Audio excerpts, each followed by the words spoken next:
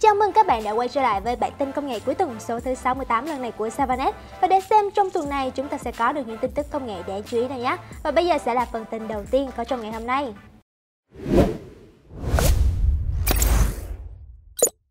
Trong số chúng ta vẫn luôn tin rằng chế độ ẩn danh trên trình duyệt web đảm bảo an toàn thông tin của người sử dụng, nhưng thực tế thì không phải như vậy.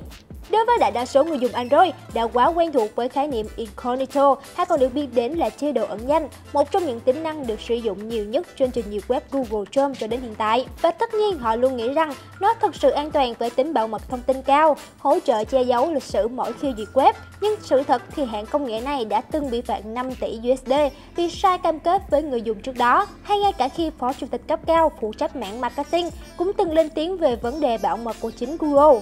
Được biết, tháng 3 2021, hàng loạt người dùng của trình duyệt này đã nộp đơn kiện tố hãng công nghệ vẫn truy cập vào thông tin cá nhân của họ, ngay cả khi tắt tính năng thu thập. Sau một năm đến tháng 10 này, thì đại diện Google sẽ phải trình diện tại tòa để đối mặt với phán quyết phạt chính thức của tòa án. Không chỉ thế, một số tài liệu nội bộ cũng chỉ ra nhân viên của Google từng chỉ trích về cái tên ẩn danh và biểu tượng gián điệp Spy Guy của chế độ này. Các nhân viên của công ty khẳng định chế độ Incognito không hoạt động đúng như tên gọi. Theo Bloomberg nhận định, đây chính là những bằng chứng cho thấy Google đã lừa dối người dùng hòng thu thập thông tin của họ, dù cho có đó là trình duyệt web ở chế độ ẩn danh hay không. Những nền tảng xem phim trực tuyến sẽ phải ra soát lại toàn bộ nội dung trước khi đến với công chúng tại thị trường Việt Nam. Nguyên nhân là do trong thời gian gần đây, một số vi phạm nghiêm trọng như series Little Women của nền tảng xem phim lớn nhất như hiện nay Netflix đã buộc phải gỡ bỏ vì ảnh hưởng đến chính trị và pháp luật Việt Nam. Trước đây, các doanh nghiệp kinh doanh dịch vụ truyền hình, phim ảnh trong nước phải đáp ứng các yêu cầu chặt chẽ liên quan đến biên tập nội dung. Tuy nhiên, một số dịch vụ nước ngoài như Netflix, Apple TV, Disney Plus vẫn chưa chịu trách nhiệm liên quan đến việc này. Chính vì thế đã liên liên tục xảy ra các tình trạng nội dung một số phim ảnh trực tiếp ảnh hưởng đến địa phận nước nhà gây ảnh hưởng rất lớn.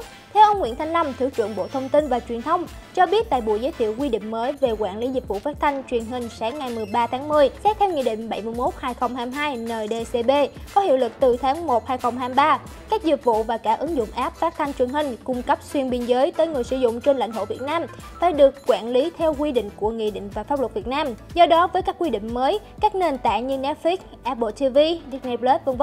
có thể sẽ phải xếp nhiều phim vào phân loại C và ngừng cung cấp tại thị trường Việt Nam. Và trước khi đến với phần tin cuối cùng của ngày hôm nay, hãy cùng dành một ít phút đến với quảng cáo từ Savanet nhé. Vào rạng sáng ngày 14 tháng 10, nhiều người đã cực kỳ háo hức có mặt tại cửa hàng Savanet từ rất sớm để trở thành những chủ nhân đầu tiên trên tay những chiếc iPhone đẳng cấp của Apple trong buổi sự kiện trả hàng diễn ra vô cùng náo nhiệt. Mặc dù buổi trả hàng được tổ chức từ rất sớm, nhưng đã có rất nhiều người đứng chờ sẵn và những vị khách của chúng ta vô cùng năng lượng vì độ hot của siêu phẩm từ nhà táo đó nha. Không chỉ vậy mà đội ngũ nhân viên của Savanet cũng tư vấn và hướng dẫn khách hàng cực kỳ chu đáo để buổi chở hàng được diễn ra suôn sẻ. Hiện tại thì Savanet cũng đã có sẵn hàng tại hệ thống nên các bạn hãy nhanh tay lên mua ngay tại Savanet đi nhé. Savanet là đại lý ủy quyền của Apple tại thị trường Việt Nam. Tìm mua iPhone 14 chính hãng giá tốt đến ngày Savanet. Và trước khi khép lại bản tin ngày hôm nay, chúng ta hãy cùng xem qua về một chiếc guitar thông minh này nhé. Từ lâu việc chơi guitar đã rất phổ biến với nhiều người, đặc biệt là các bạn trẻ. Tuy nhiên không phải ai cũng có thể chơi một cách thành thạo bộ môn này và cũng đã có không ít người từ bỏ vì khó thành nhanh chán. Nhưng giờ đây nhờ vào dự án Kickstarter mang tên Aero Guitar, muốn quá trình học đàn trở nên dễ dàng hơn khi biến nó thành một trò chơi. Đây cũng là một chiếc đàn guitar điện tử với khả năng đặc biệt nhất là biến đổi âm thanh một cách tùy ý. Nhờ đó giúp người chơi đánh các hợp âm bằng cách đặt thẳng ngón tay lên cần đàn.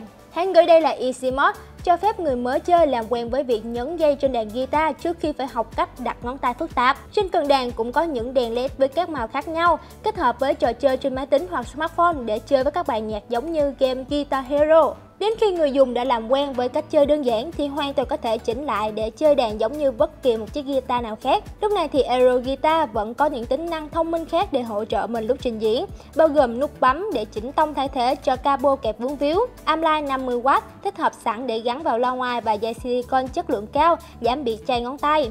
Đây cũng là một món nhạc cụ thông minh tích hợp nhiều công năng nên cũng có giá bán không hề rẻ lên tới 350 USD, tương đương với 8,4 triệu đồng cho người đặt trước. Hiện tại thì dự án này đã được thu hút với 533 người tham gia và số tiền gọi vốn lên tới hơn 190.000 đô. Và đó là những tin tức có trong bản tin công nghệ cuối tuần số thứ 68 lần này của Savanet. Rất cảm ơn các bạn đã xem hết video, nhớ like, share và subscribe để ủng hộ cho kênh nhé. Xin chào và hẹn gặp lại trong những video lần sau.